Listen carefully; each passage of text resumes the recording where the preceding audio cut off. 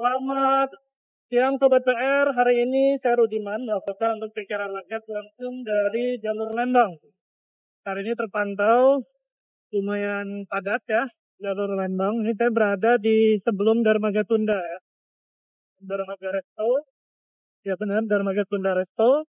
Ini udah padat ya. Sementara tadi kalau dari arah Upi bawah masih aman. Nah, ini kita coba nanti lihat sampai sejauh mana kemacetan uh, di kawasan Lembang ini. Oke, siang Sobat PR, hari ini sekitar jam 10 waktu Indonesia Barat.